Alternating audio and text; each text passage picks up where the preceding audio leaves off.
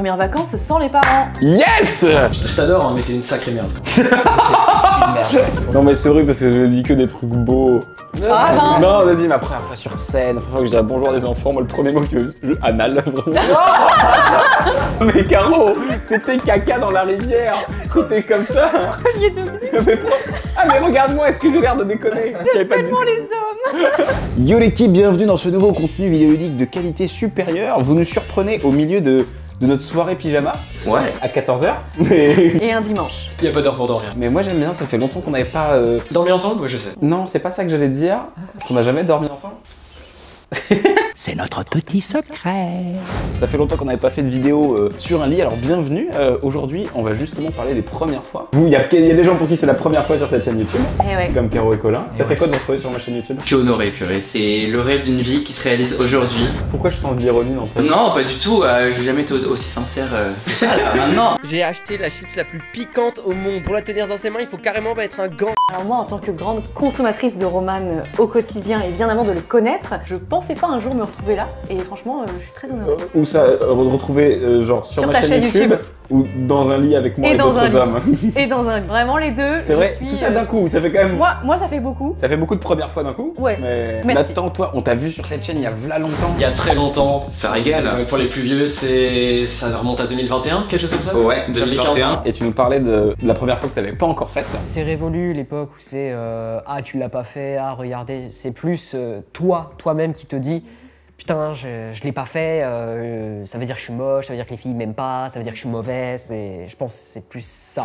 Peut-être qu'aujourd'hui on va, on va se mettre à jour peut-être là-dessus. J'en dis pas plus. Oh putain, j'étais les mouettes. Révélation. Pour ceux pour qui c'est la première fois sur cette chaîne YouTube, déjà, bah, vous pouvez vous abonner à cette chaîne, ça fait plaisir, je pense que c'est quand même plutôt, plutôt cool. Si vous connaissez pas encore le concept des sans tabous, c'est très simple, vous vous installez confortablement n'importe où, une chaise, un lit, un canapé, tranquillement, quelle que soit l'heure du jour ou de la nuit, même le bus ça marche. Et euh, vous sortez les popcorn et peut-être même les Kleenex, et on va enchaîner euh, les histoires et les confessions sur toutes les premières fois qu'on a pu vivre ou pas encore. Donc la première fois, euh, la première fois les premières fois qu'on n'a pas faites, les premières fois qu'on a faites, les premières fois qu'on regrette, euh, les premières fois qu'on a envie d'oublier, celles qu'on n'oubliera jamais. En tout cas, normalement, les premières fois, ça s'oublie pas.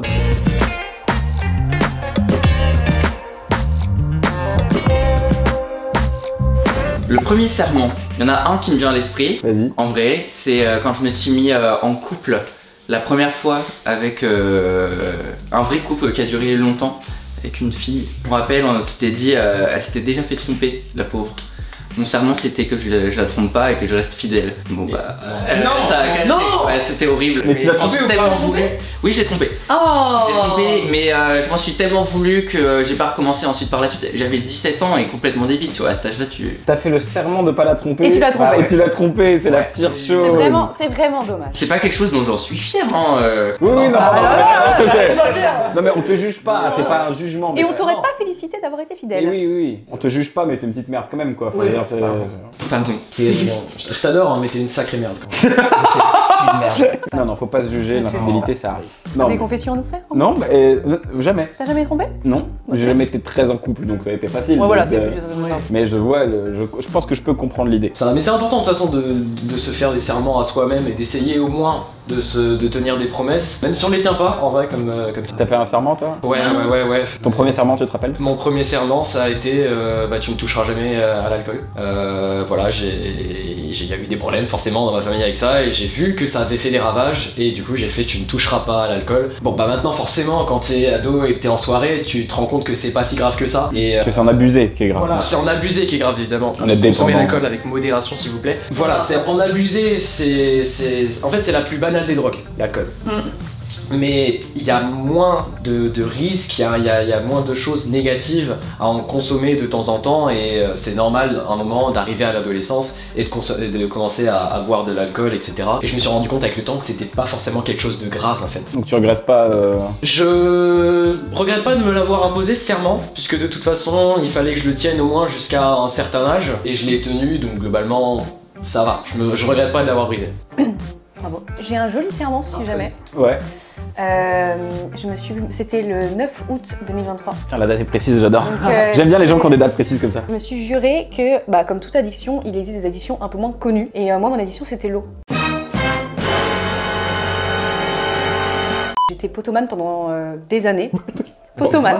Ça s'appelle la Genre, potomanie. diagnostiqué potomanie. oui, j'ai été diagnostiquée par un psychiatre et par un neurologue parce que je buvais 10 litres d'eau par jour. 10 litres d'eau Ouais, voilà. C'est la première fois que j'en parle sur les réseaux autres que ma chaîne YouTube parce que ma chaîne YouTube à la base c'est pour arrêter mon addiction. Voilà. Et du coup c'est pour ça que j'appelle les jours pour aller mieux, etc. C'est horrible parce que t'as commencé à parler, j'ai commencé à avoir soif. Ah, j'ai une bouteille d'eau vraiment là. Voilà, voilà. C'est une addiction qui s'installe avec le temps, avec euh, des troubles euh, du comportement, etc. C'est un trouble du comportement, tout simplement, qui vient d'une cause. À chaque fois, chaque trouble a une cause en général, voilà, euh, que ce soit psychique, psychologique, enfin voilà. Et euh, j'ai décidé d'arrêter de boire trop d'eau parce que euh, ça me détruisait de l'intérieur, ça détruisait euh, mes reins, ma vessie. C'est grave de boire trop d'eau, genre c'est un grave. problème C'est très très grave. très très très grave. pas du tout. Et il y avait des, ça te donne la nausée, des vertiges, etc. Je pouvais m'évanouir euh, dans le métro. J'étais l'incident voyageur, voilà, souvent. C'était Voilà, toi. c'était moi. Et du coup, maintenant, je suis à 2 litres par jour. Donc, Bravo. Bravo. Merci. Putain, c'est cool. Premier ami. Oh. Ah Qui a été votre premier ami et comment ça s'est passé Roman, raconte-nous. tu, tu veux que je raconte? Ah oui, s'il te plaît, en premier. Mon premier ami, il s'appelle Gauthier Auster. J'ai aucune nouvelle depuis Ah. le CP 6 ans. Je- J'espère que le gars est pas mort. J'espère que le gars c'est encore. euh, franchement, mec, ça fait. je- des fois, je sais pas. Je crois que c'est pas la première fois que j'essaie de lancer un appel sur les réseaux pour retrouver ce gavon. On était en maternelle à l'école Belle Image en primaire. C'était un truc de fou. On était les meilleurs amis du monde, inséparables. Je ne sais pas ce qu'il est devenu. Je n'ai aucune nouvelle. Rien. Ça arrive les amis où t'as. Gauthier, n'hésite pas à nous écrire. Pour le prochain, comme ça, t'auras peut-être Gauthier dans ton Putain, si à la prochaine vidéo il y a Gauthier dans mon lit. Incroyable. Non, Gauthier, n'aie pas peur. Déjà, café. peur, Déjà le café, on peut commencer par un café avant que tu te retrouves dans mon bed, c'est genre 25 ans plus tard. Je tiens à dire qu'on n'a jamais pris de café avant que je me retrouve dans ton lit. Oui, mais toi, j'ai une relation particulière avec toi. C'est plus, c'est plus instinctif. Plus- Vous, les gars, vos premiers amis Commencez, si vous voulez. Vas-y. En plus, il y a une confession. Oh. dedans. Euh, ma première amie s'appelle Céline et c'est toujours ma meilleure amie aujourd'hui. Maintenant, euh, elle habite à Rome. Elle est, elle est merveilleuse. Et on s'est rencontrés en toute petite section, vraiment toute petite section. Euh, tout de suite, c'est devenu ma meilleure amie. Ta meilleure amie, je serai là, toujours pour toi. Et euh, Céline, eh bien, c'est euh, les premiers sentiments de ma vie que j'ai eus. Voilà. Oh, t'étais amoureuse de J'étais Céline amoureuse de Céline. Oh Eh ouais, j'étais amoureuse de Céline. mignon. J'étais toute petite, vraiment. C'était plus un peu plus vieille, genre vers 7-8 ans. Voilà. Et nous avons joué à papa et maman pour mon plus grand bonheur. Mais sans papa mais sans papa. Voilà. Et Céline est toujours ma meilleure amie et Céline est toujours très gênée de cette histoire. Premier hosto. Oh, Oh, ok. La première fois que j'ai été à l'hôpital. Ouais Quand j'avais 4 ans, j'ai été hospitalisée pour euh, une méningite qui avait bien dégénéré. Et euh, je suis restée, euh, je sais plus combien de temps à l'hôpital, euh, tel un petit légume. Voilà. C'était pas drôle. Ah un non. À 4 ans. Ah ouais, j'étais toute petite et mes parents euh, pleuraient. C'était c'était très triste. Ouais, non, c'est pas marrant comme confession. Non, euh, c'est mais... C'était ma première fois. Et c'était avant ou après ton addiction à l'eau Avant. Mon premier hosto. Putain, J'ai euh, remarqué que le papier est vraiment à la couleur de mon, Ah oui. de mon pyjama. Ça marche. C'est rigolo. Premier hosto, bah en fait moi j'avais j'ai un problème c'est que je suis trop petit et, euh, et que j'étais encore plus petit avant. Comme j'étais vraiment trop petit, mes parents ils ont ils m'ont emmené à l'hosto pour faire des, des examens pour voir si j'avais pas un problème. Hmm. Et il se trouve que oui, j'avais un problème de croissance, j'avais un retard de croissance qui était trop grave, qui était trop éloigné par rapport à mon âge. Donc du coup j'ai c'est à la suite de ces examens que j'ai eu des hormones de croissance pendant Hmm. pendant très longtemps. T'avais quel âge? J'ai commencé à 11 ans. Ah oui, il y a 11 ans. Ce que j'ai demandé, ouais, t'as eu des traitements, tout ça, et c'est quoi C'est un peu douloureux ou pas En fait, t'as une piqûre que tu te mets à un endroit. Moi, j'ai choisi le ventre. Chantos. Tu- J'avais ouais, tout le monde, tout le monde a choisi la. En fait, c'est comme les diabétiques, c'est le même genre de piqûre. Ouais. Tout le monde choisit normalement euh, la jambe, et je sais pas pourquoi, je suis le seul tocard qui a choisi le ventre. Et c'était comme ça, donc tu- dans le ventre. Et, euh, et c'était une piqûre quotidienne pendant 7-8 ans. Est-ce que. Ça a marché? Ça... Bah non.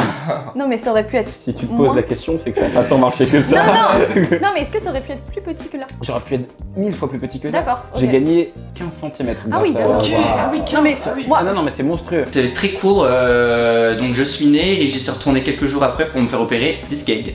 Non Ah ouais, euh, tu sais, pour enlever la peau, des fois il y en a en trop et tout. Tu t'es circoncisé euh, à Bah, l'adolescence? pas moi, mais euh, le médecin il, m'a coupé le, ouais, la peau et tout. Mon ex, elle a Prépuce. exactement la, la même histoire. Ouais, le C'est vrai prépuce. Donc tu t'es coupé le prépuce, à- à- mais trois jours après. Ouais, quelques Pour pas du tout des raisons religieuses, des raisons Oui, non, c'est médicales. médical. Ah non, c'est pas religieux, non. Ok, d'accord, j'allais dire. c'est Non, non, non, ok, non, non, d'accord. non, non. Oh Premier je t'aime. Oh, c'est mignon. Ah, ça devait être en colonie de vacances, ça devait être nul, ça devait être. Je pense que mon premier je t'aime il était à l'écrit. Je pense que je l'ai écrit mon premier je t'aime. C'est pas un vrai premier je t'aime euh, oral, c'est un truc que j'avais écrit. euh, Que tu veux m'accompagner à la boum, je t'aime. Je crois que vraiment c'était un- c'était aussi mignon et nul que ça. Ouais, mais c'est c'est toujours au début, un peu en primaire. Moi, moi, c'est- moi perso, ça a été le cas. Euh, j'ai dit je t'aime avec une bague. Oh, Ah, quand j'étais. T'étais déjà un homme de choix. Un homme capable. Un homme capable, il, il est là, il est ma là. mère, ma mère qui, qui- qui est très capable puisque c'est elle qui m'a donné une bague à elle. Oh. À, à ma chérie. Euh, du coup, c'était à 9 ans, 10 ans, quelque chose comme ça en primaire. Ça avait marché. euh, on, a, on est sortis ensemble, etc. Elle a dû changer de- de- d'école primaire parce qu'elle se faisait harceler. Voilà, donc euh, j'ai plus de nouvelles d'elle. Clara, je n'ai plus de nouvelles de toi. Euh, Nouvel avis de recherche. C'est la deuxième personne qu'on cherche. Vous vous rappelez de votre premier thème? Bien sûr. Moi, et ça, voilà, là, euh, moi, il s'appelle Thibaut. Alors là, moi, je vous le dis, Thibaut, c'était le mec le plus populaire de la cour. je l'ai eu. J'étais Oh la là. copine de Thibaut. D'accord? Donc euh, voilà, Thibaut, toujours un de mes meilleurs amis. Et euh, notre premier je t'aime, on avait acheté un carnet où on se faisait des lettres et on s'échangeait le carnet tous les jours. Oh, c'est mignon. Ah oui, Il y a des beau. copies de. Pourquoi est-ce qu'on on est plus mignon dans le temps comme ça et on devient juste des horribles Alors moi, mon copain est aussi mignon que ce genre de relation. Donc euh, je retrouve... Il a quel âge? Mon copain Ouais. 26 ans. Ah, ok. J'avais jamais dit sur les réseaux sociaux, mais... euh, On a plein de nouveautés, moi je suis content. J'ai plein d'inédits, c'est bon pour le clic les gars. plein d'inédits là. Non mais attends, laisse tomber, la petite de la vidéo c'est Caroline est en couple. et la miniature c'est toi avec une bouteille d'eau comme ça. Premier, monsieur ou madame ah Appel, ok. Oula Ah bah là, euh, super, c'est dans l'actualité, c'était il y a vraiment pas longtemps. Mais non. Et il a été déchirant pour moi. C'est-à-dire que avant, bah forcément, j'avais encore euh, ma petite bouille euh, à 15 ans, etc. Les gens s'en souviennent peut-être, on m'appelait pas encore monsieur. Et euh, bah, mon premier monsieur, il a été il y a peut-être même pas un an. Je repassais devant mon école primaire justement et il est arrivé un truc qui est arrivé forcément à plein de gamins. Le ballon est passé par-dessus le grillage pendant qu'il jouait. Une armée de gosses Non. sur le grillage. Monsieur, monsieur, le ballon, monsieur, monsieur Sauf que c'était moi il y a, il y, a, il y, a, il y a- il y a 7 ans. Ouais, et là ils sont nombreux en Ils plus. sont nombreux et puis tu leur redonnes, t'es leur sauveur. Et c'est c'est eux qui m'ont- ils m'appelaient monsieur, monsieur, monsieur. Alors que bah, je suis vous les enfants. C'est moi. en fait. laissez-moi rentrer avec vous, laissez-moi jouer avec vous. Bah du coup ouais non, c'est ça m'a fait bizarre bon déjà parce qu'il y a jamais eu autant de monsieur d'un seul coup. Je me suis senti vieux et d'autant plus vieux que bah, je suis plus maintenant avec eux derrière le, le grillage. C'était moi l'homme de l'autre côté du grillage. Voilà. Ça me plaît. Ça fait mal, hein. Ça fait mal. Ça, Ouais, ça, ça fait pique. euh, ouais, ça pique puisque tu dis ok. T'as passé un cap. Là j'ai changé. Non, non, moi, euh, monsieur, ça m'est arrivé plusieurs fois, mais euh, tu sais, c'est des abonnés dans la rue, etc. Monsieur, on pourrait avoir une photo Et le vouvoiement, le monsieur, tu sais, là, c'est en mode. Ça fait beaucoup. ouais. Je te dis, y a pas de problème, euh, tu peux euh, tutoie-moi, euh, je suis pas si vieux que ça. Moi ça me fait pas mal les monsieur. Quand il y en a, moi j'aime bien. hein. Bah, c'est à partir d'un certain âge que ça fait plus mal. Ah, mais moi ça m'a jamais fait mal. Jamais. Jamais. Monsieur, quelle marque de respect. Moi un enfant qui m'appelle monsieur, je suis refait. hein. Oui, oui, c'est vrai. Je suis en mode monsieur Ouais monsieur, ouais. négatif. Monsieur et tu vous vois en plus. Premier achat, pas du tout raisonnable. Oh, voilà. Oh merde. J'ai dans la sauce. J'en ai à la pelle. J'ai que ça. Ce pyjama pour commencer. Ah non, ça c'est un investissement. Il est magnifique. Il est très beau. Merci. Tout le monde l'a dit. Alors, je suis un peu en train de réfléchir, c'est vrai, premier achat, euh, c'est pas forcément qui coûte très cher en soi. Ah si si si si si si. euh, Ou quelque chose qui n'a pas été raisonnable à une période donnée. Oui, un truc qui est pas raisonnable, c'est un truc que tu devrais pas acheter. Genre Et tu le devrais sais. pas. euh, tu Tu devrais l'achètes et pas, tu euh, dis tu le sais. T'as Moi, pas j'ai- les thunes, tu sais que ça va te mettre dans la merde. euh, voilà. Ouais, c'est vrai. Ah moi j'ai précisé. juste les parents qui l'interdisent quoi. De n'achète pas ça et tu l'achètes dans leur dos. Alors euh, même si t'as l'argent par exemple. Ouais, ouais, moi je pense que moi mes achats euh, qui sont pas raisonnables, c'est euh, quand j'ai 18-19 ans euh, que je vais danser aux boîtes de nuit. euh, et là, ah, derrière, a- on peut acheter des choses pas super bien consommées, de l'alcool, des bouteilles qui coûtent très très Ah ouais, très cher. Et t'es en boîte de nuit, et du coup t'en prends une, t'en prends deux, t'en prends trois. Ouais, et, euh, ouais, et mon achat du coup le plus ré- le moins raisonnable, je crois que c'était une bouteille à 500 euros. Oh là ça c'est pas C'était un gros McDo. C'était. Euh, Dans quelle boîte c'était- mon cher 500 non mais 500 balles s'il À vous plaît. Paris, euh, c'est fini. Hein. Oui mais. Attends. Mais tout seul ou? Euh, non, non, on l'a pris, moi je payais la moitié. Ouais. 250 Ouais. et euh, T'imagines 250 euros ta soirée C'était où? Au flot. Euh, une péniche à Paris. J'ai un achat pas raisonnable, si vous voulez, débile. Stupide, vraiment. Avant d'être sur les réseaux sociaux, du coup, euh, j'avais euh, plusieurs sources de revenus euh, à côté de mes études, parce que j'ai toujours voulu être très indépendante. Et euh, je me suis toujours dit, quand je vais réussir à être diplômée, etc., je vais m'acheter mon premier sac Hermès. Voilà. Et je me suis dit, bon, euh, j'ai l'argent euh, de côté et tout, j'avais bien travaillé, voilà. Mais débile, hein, débile. Je n'avais aucun euh, sens des priorités à ce moment-là. Et je voyais toutes ces influenceuses qui avaient des sacs de luxe. mais maintenant que je sais combien on gagne en étant influenceur, je comprends pourquoi elles en avaient. Mais à l'époque, moi, je gagnais pas autant qu'une. Combien euh, coûtait le sac ah, C'était un sac à. euh, C'était pas un sac, c'était pas le plus cher, euh, c'était euh, un modèle à 3000 euros, je crois, mais je voulais que ce soit un sac Hermès, enfin bref. Et j'étais vraiment matrixée par les influenceuses à cette époque-là, mode. Je voulais simplement vous dire à tous que je vous aime. Toi, je t'aime. Toi, je t'aime. Toi, je t'aime. Toi, je j'ai même pas les mots. Et euh, ce qui n'est pas du tout ma cam euh, en ce moment, mais voilà. Mais maintenant, je comprends qu'elles avaient les moyens et que moi, euh, pas du tout. J'ai acheté ce sac, je l'ai mis deux fois, je l'ai vendu sur mes circos, genre un mois après. Je mets énormément d'argent dans les cartes Pokémon. J'étais sûr que t'allais dire ça.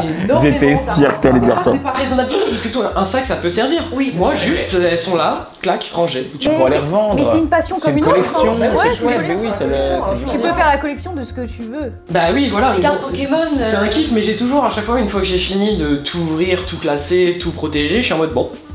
Va, c'est bon, c'est fini, maintenant c'est. Oui, mais bon, je- c'est- bon, ça, ça, ça te fait, ça te fait plaisir. Ça me fait des souvenirs, ça fait plaisir, mais c'est pas. c'est mais Même je me fais Tu encore trouves que c'est pas raisonnable C'est pas raisonnable du tout. Moi je trouve ça. raisonnable. Moi, je trouve ça raisonnable, une collection. euh, Dites-moi ce que vous en Un petit, un petit paquet de 10, c'est. Bon, maintenant c'est 6 balles, ils ont augmenté les prix, vous savez.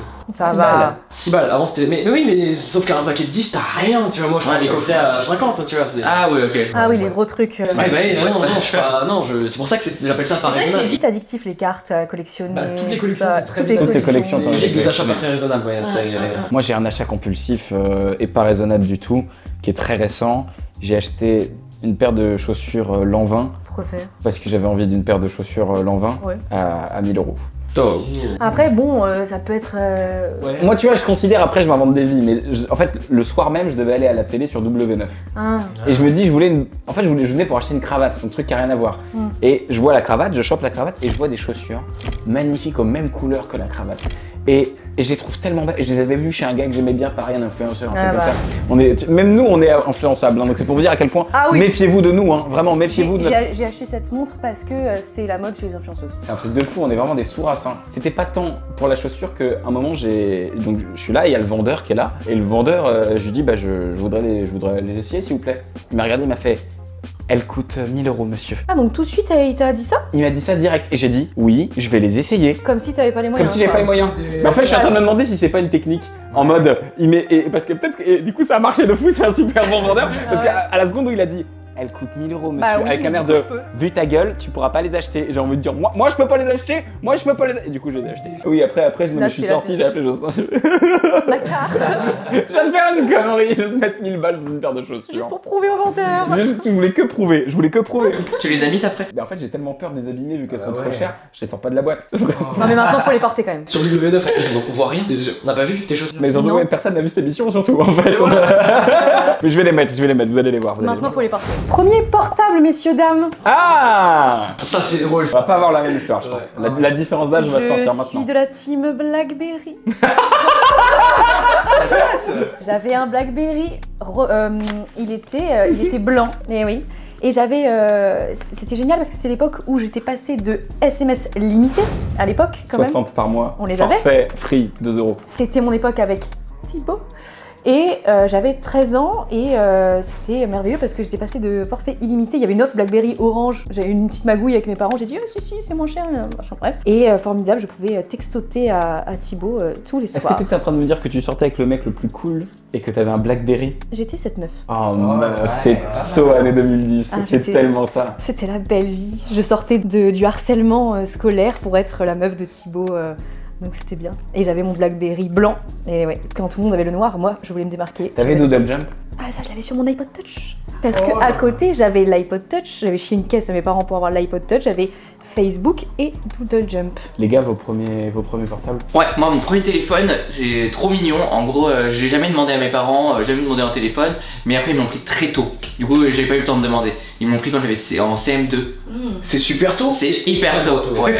Donc euh, ma mère m'a pris, en- elle m'a emmené à SFR, je vois rien, et elle m'a dit on rentre dans SFR, elle me dit bon bah choisis ton téléphone. Ah, tu pouvais choisir libre. Oui, mais à l'époque je savais pas ce que c'était un iPhone, je savais pas du tout, je savais pas. Si, ça existait, mais, euh, mais du coup j'ai pris un Acer, un Acer que, que j'ai pété euh, un an plus tard, et, euh, mais qui était euh, très bien. Mais Petit Acer, et moi j'étais tout petit en CM2, c'est hyper jeune. Bah, ça dépend En fait, si t'en avais besoin pour Aujourd'hui, ça l'est euh. plus. Hein. Aujourd'hui, c'est plus très jeune. Hein, Ah ouais, euh. Puis surtout, normalement, les premiers téléphones, c'est censé être les anciens des, des, des parents. En fait. Moi, c'est cette team-là, moi, c'est ancien de mes Ah. frères. Euh, voilà, moi c'est de mon père. euh, c'est, bah, Ouais, mais ça. en vrai, ça avait créé une vraie discorde le premier téléphone hein, entre, entre mes parents. Il y avait ma mère qui était pas d'accord et mon père, du coup, qui nous a filé ses anciens téléphones en 5ème. C'était pas plus tard que toi. Et euh, ça avait vraiment créé une vraie dispute en mode non, non, ils ont pas le droit d'en avoir, monsieur, c'est bon, ils sont grands, etc. Et vraiment, ça, ils sont vraiment disputés sur ça, alors que Ouais, moi, je voulais juste jouer à Temple Run, tu vois. Le premier film qui t'a changé les amis, je vous le dis, c'est Mister Nobody de Jacob Van der Mael. C'est l'histoire d'un d'un garçon, d'un petit garçon qui est sur euh, le, qui est dans une gare et il a un choix à faire. C'est soit il accompagne sa maman et il rentre dans le train, soit il reste avec son papa et il va pas dans le train. Et en fait, pendant tout le film, il imagine toutes les vies qu'il peut avoir s'il monte dans le train ou s'il monte pas dans le train. Et ça montre l'importance des choix. Et moi, ça m'a changé de fou. Quand j'avais 12 ans, je me suis dit, mais en fait, on peut, on peut, on peut prendre des décisions Ouais, qui vont bien. totalement changer ta vie. Et des fois, euh, ta vie ne tient qu'à un fil. C'est aussi ça que le film raconte, c'est que l'amour de sa vie, il le retrouve par pur hasard. Mais deux secondes plus tôt, s'il avait plu, il l'aurait jamais rencontré. Enfin, tu vois, c'est que des trucs comme ça. Et moi, c'est un film qui m'a fait pleurer toutes les larmes de mon corps. Et mention en Europe pour euh, Lost in Translation, qui m'a aussi beaucoup, Bien sûr. beaucoup, beaucoup marqué. Ouais, en mode, euh, quand tu t'ennuies, euh, sache que t'es pas le seul à t'ennuyer. Ouais, Il y a d'autres gens qui film. s'emmerdent. Ouais. Et si vous vous rencontrez, vous pouvez vous aimer et c'est génial. Ouais, j'ai adoré ce film aussi. Les films qu'on- qui font pleurer, moi, perso, c'est toujours sur euh, la Seconde Guerre mondiale. Donc il y a vraiment un film qui, qui me reste un peu en tête. Je, je, je me souviens plus le nom, je crois que c'est un sac de billes, quelque chose comme ça. C'est une Mm. sorte de frères là qui traversent euh, du nord de la France jusqu'au sud ou, inversement, je sais plus. Et euh, bah moi, du coup, comme j'ai mon frère jumeau, hein, euh, bah vraiment, je, tout de suite, j'ai été plus proche de lui.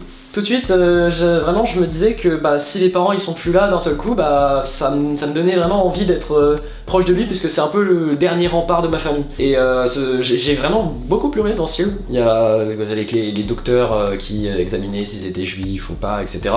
C'était vraiment touchant, et globalement, tout ce genre cinématographique. Ça, ça me bouleverse un peu, mais celui-là en particulier, c'est vraiment le premier film qui m'a qui m'a marqué profondément. C'est sûr que là, t'as ramené les nazis dans l'histoire, ça a calmé tout le monde. Ah, fouf euh, on va C'est mal J'ai quelque chose de plus léger, si jamais. Euh, voilà, alors c'est pas un film, moi c'est une série, et euh, c'est vraiment bête à dire comme ça, mais Friends, parce que euh, ça fait relativiser sur énormément de choses, euh, de voir que bah, eux ils ont bientôt euh, la trentaine et que euh, sont seuls, euh, ils ont pas de mec, pas de meuf, c'est la galère parfois d'argent, etc. Et en fait de les voir, de dire que je suis même pas encore dans ma période Friends. Ça m'a rassurée pendant tout mon célibat déjà et pendant toute la période où j'ai pu galérer à trouver ma voie, ma place et tout. Et je trouve qu'on peut s'identifier à vraiment tous les petits personnages. Et voilà, c'est très. Ça fait du bien. Premier râteau. Au premier râteau, il n'y a rien d'intéressant à dire sur les premiers râteaux. euh. Vous avez su, mais rien Mon premier râteau, oh mais je crois que c'est vraiment vieux. hein. Je crois que c'est vieux de, de maternelle, c'est aussi vieux que ça. hein. Ah ouais? Ouais, ou primaire, Céline, je crois. Non, ouais, Céline, première. Euh, sa pr- premier râteau, c'était en. Céline Céline euh, Je la suis encore sur Insta, je sais ce qu'elle devient. Elle est mariée, je crois d'ailleurs, maintenant, c'est Eh ben. Céline. Super. Et toi Bah non, pas mariée, non, non, pas du tout. Écoute, non, écoute, c'était en première. Et, et en fait, il y a un truc que je trouve particulier à ce moment-là, c'est que elle me rembarre pas. Elle veut que je reste dans le coin, tu vois ce que je veux dire? Ah, ben elle veut te garder sous le coude, elle aime plaire. Je me rappelle de ce moment où, euh, où je crois on est sous un grand arbre, sous le préau. Et, je lui dis, mais moi je, ouais, moi, je suis amoureux de toi, j'ai envie que tu sois ma, mon amoureuse. Et elle m'a dit, euh, non, on y va C'est là où je suis nul, c'est que je me rappelle très bien qu'à ce moment-là j'ai envie de dire, bah non, je vais pas à la cantine toute seule, euh, c'est bon quoi. Et, Normal. et- et je me dis peut-être qu'il y a une petite chance quand même. Alors du coup je l'accompagne à la cantine et tu sais, je lui, je lui donne Les du pain faux et tout. espoirs. Tu lui donnes du pain. Je- ouais, vraiment je lui ai donné du pain tel un oiseau T'as toujours envie de garder forcément ce petit espoir. Et euh, bah, moi perso, je l'ai vraiment vécu euh, il y a pas longtemps, c'était encore au lycée, euh, avec une, une- une fille que j'aimais beaucoup, euh, qui le- la connexion s'est fait très vite. Et euh, au moment de lui demander, du coup, est-ce que tu veux sortir avec moi? Euh, ça- Trois jours avant, elle s'était mis avec un autre mec. Et je me suis dit, bon, c'est pas grave, je vais rester ami avec elle, et au pire, j'attendrai le bon moment pour y aller. Et bah pendant un an et demi, le moment, il était pas là. Et j'étais là, j'étais là, je restais, je restais, je restais, je restais, je restais. Mais là, ça te fait du mal. Ça m'a fait, oui, ça m'a fait du mal, mais bah, au bout d'un moment, quand même, ça allait mieux. Puis au bout d'un an et demi, elle a, elle a arrêté de sortir avec ce gars. Et je me suis dit, ok, c'est maintenant ou jamais. Je, elle, elle va voir que je suis resté toutes ces années, d'abord je suis un, un gars bien, un gars fidèle, un gars qui est là, et euh, Elle est sortie avec un autre gars. avec un de mes meilleurs potes. Oh, oh, oh. c'est- C'est le premier râteau, je le considère comme ça en fait, puisque c'est le premier qui a vraiment Ouais. fait mal. Les autres, à la limite, tant pis, genre, allez, chialer 10 minutes et derrière c'était bon. Oui. Je retournais pas vers elle, etc. Bon, ça Voilà, t'es arrivait. resté. Mais là, je suis resté et c'est resté qui a fait vraiment mal et c'est pour ça que je le considère vraiment comme mon premier, premier vrai râteau. Je suis en train de faire la rétrospective de mon année, j'en ai eu plein des râteaux cette année.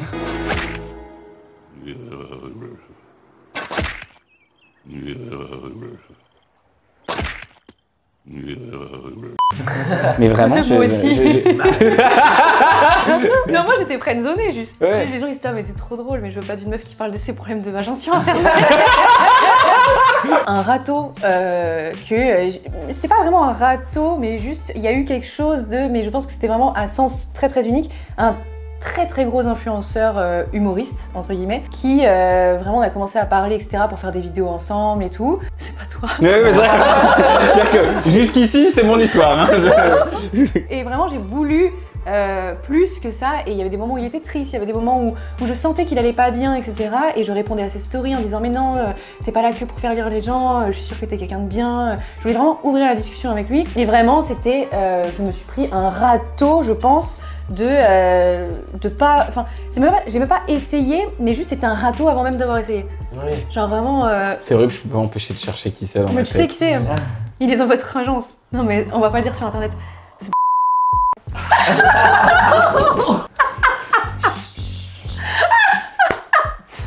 Est-ce que il le sait? Mais non, il en a aucune idée Est-ce qu'on le garderait pas quand même Moi je pense qu'on le garde et, et on, on met un bip sur le prénom. Ouais. On met pas le prénom, sinon on met personne dans la sauce. Mais je Oh, pense bah qu'il est même pas au courant qu'il t'a mis un râteau. Hein. Mais non, il est Il pas au courant. pas. Et j'ai essayé tous les jours. J'étais ah putain, je vais lui renvoyer un message. Je faisais des stories c'était cet été. Je me souviens très bien, je faisais des stories dans mon Mais miroir. oui, mais attends, mais moi je me souviens qu'il m'a, oui, il m'a appelé, on a parlé de toi un moment, il a dit, Eh, super sympa cette meuf. C'était sympa. Et un jour, il m'a dit on peut faire des vidéos ensemble et tout. Et là, je me suis dit ça y est, on va se voir. Ça y est, il va venir chez moi. Et, euh, et ça a duré longtemps. hein, cette, euh, c'était pas une obsession ou quoi que ce soit. C'était un crush, quoi, tout simplement. Et ça a duré euh, tout l'été. Tout l'été. Je me quoi. remettrai jamais. Moi j'en ai une, je vais vous en parler comme ça, ça va me libérer un peu de, Allez, de vas-y, tout ce poids depuis des années. Quand j'étais en cinquième, euh, il y a une, euh, une fille qui est arrivée d'Espagne dans ma classe, avec l'accent, etc. Ah, ouais. incroyable, etc. Et tout de suite le coup de cœur. Long, elle était petite, brune, les cheveux longs, et franchement, l'époque c'était mon style. Et j'ai commencé à lui, à, à lui parler par message, par message pendant un an un an par message en espagnol, en français. Le mélange tout le temps, tout le temps, tout le temps. Donc je lui ai appris le français pendant un an. On a parlé pendant un an et on se parlait jamais en cours. Tu vois ce truc, euh, tu parles Ouais, tu parles message, par message, c'est jamais en vrai, genre, jamais. Et euh, arrivé euh, l'été, juste avant euh, la fin des cours, euh, je prends mes demi-couilles euh, en main. Demi. Demi-couilles, parce que j'étais petit. Et euh, je lui envoie un message comme à ça, et je lui dis j'en ai marre, euh, est-ce que tu veux être ma petite copine? Elle m'a répondu euh, tu es un super ami, euh, il y aura jamais plus.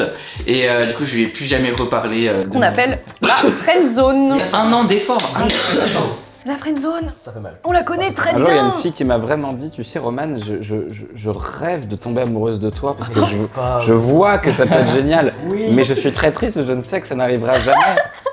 Ou alors le j'aimerais tellement rencontrer quelqu'un comme toi. Ah On l'a tous eu Je suis moi. La prochaine première fois que tu espères. Ouh Ah bah moi je l'ai. Moi aussi Bah du coup rien à voir avec euh, l'amour ou quoi que ce soit euh, ou les émotions, hein, mais c'est une émotion comme une autre. Euh, moi j'ai hâte de ma première fois sur scène. Voilà, parce que j'ai jamais fait et euh, du coup j'ai hâte. Tu as tellement kiffé. Ouais, C'est la meilleure chose du monde. Oui, C'est mieux qu'embrasser des gens. Ouais je pense. Enfin non, je sais pas. Non, non, je te jure. Ok, bon, voilà, j'ai trop trop hâte de ça. Vraiment j'ai jamais fait et j'ai trop hâte. Voilà. Ma prochaine première fois que j'espère, tout simplement, ce serait ma première fois où je fais cours devant une classe. Hmm. Parce que j'ai, j'ai- je sais pas, j'ai toujours ce petit rêve de vouloir faire prof. Ouais. Et j'attends cette première fois où je vais faire bonjour les enfants. Oh Trop cool Non mais c'est horrible parce que je dis que des trucs beaux. Ah, Non, on a dit ma première fois sur scène, la première fois que je dirais bonjour des enfants, moi le premier mot que tu veux, je... anal, vraiment. C'est la première fois que j'ai pas encore fait. Je ne comprends pas le délire avec l'anal, je suis désolée. Je ne comprends pas ce qu'il y a d'agréable à se prendre ça dans cet endroit Jamais précis. essayé, euh. Bah j'ai malheureusement essayé.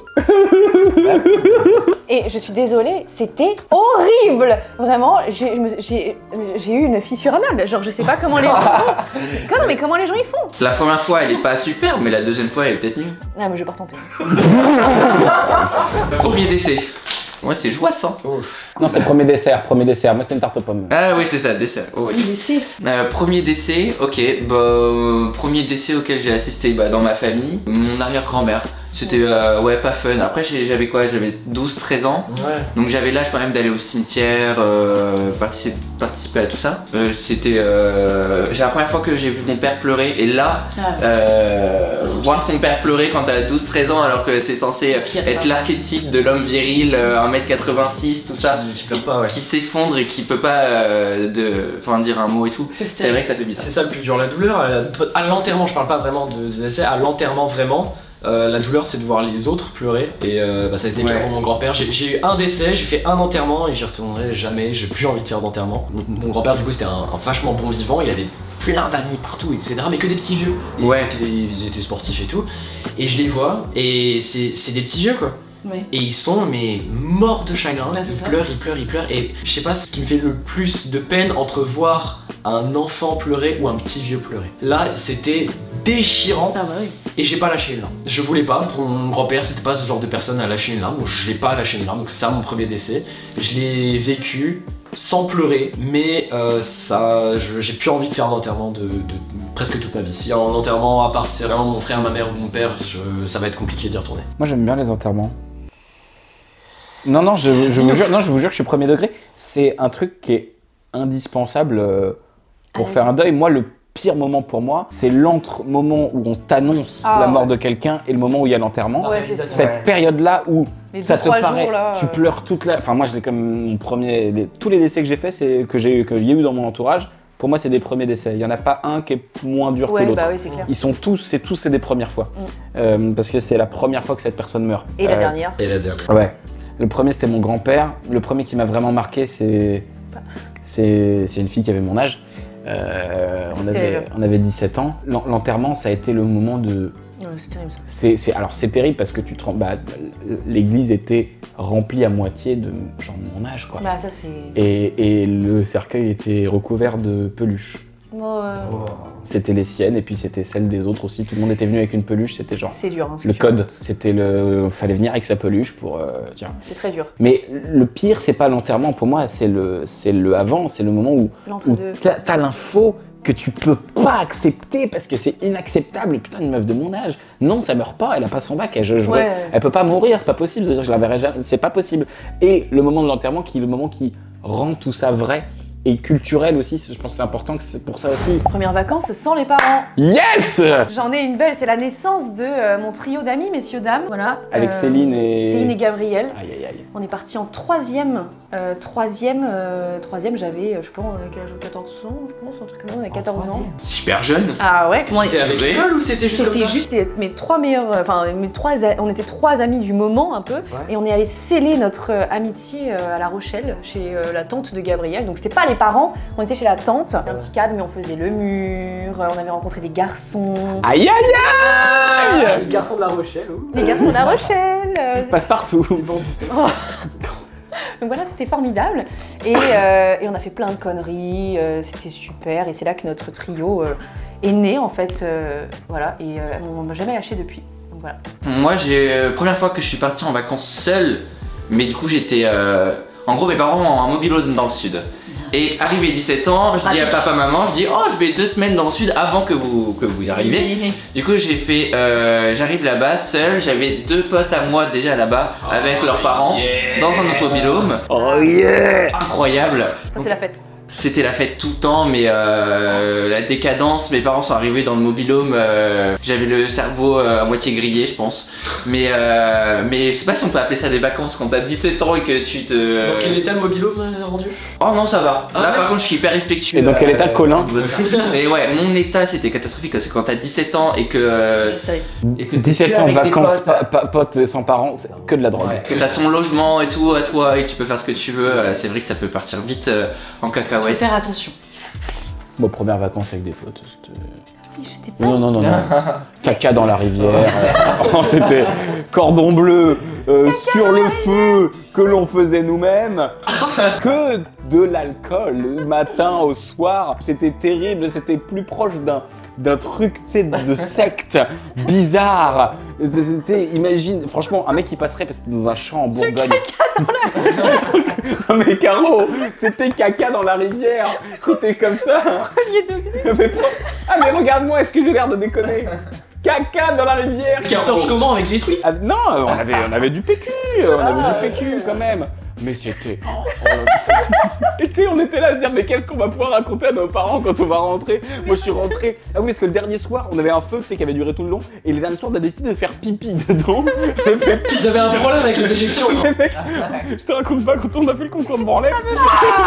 concours de branlette, on s'était mis chacun à l'autre bout du champ et c'était le dernier qui a fini qui avait perdu. parce qu'il y avait pas de biscuit. les hommes Première rupture. Allez, moi je me casse, Oh. c'est bon. Allez, bonne soirée. C'était une bonne vidéo. Salut les amis. Bon les amis, on passe tellement de temps à se raconter nos premières fois que c'est beaucoup trop long pour tenir dans une seule vidéo. Alors ce qu'on va faire, c'est qu'on va diviser cette vidéo en deux parties. Et croyez-moi, vous n'avez pas envie de louper la deuxième partie parce que il y a des gros classiques qui vous attendent. Petit extrait. Là, ça nous parle. La première cuite, messieurs dames. Oh, damn Là, on va rigoler. En fait, par exemple, je sais si je vais tomber amoureux de quelqu'un à la seconde où je l'embrasse pour la première fois. C'est ta première soirée. Caca dans la rivière Et quand les enfants me demandent pourquoi la mer était salée, je suis obligé de répondre. C'est Roman et ses potes qu'on chier.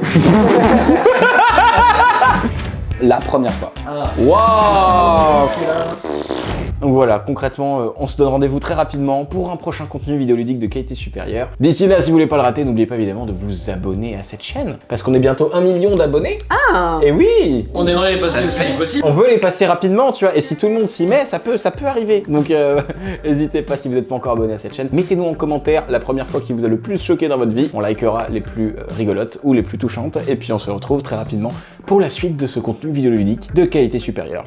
Des gros bisous Salut Au revoir Bye.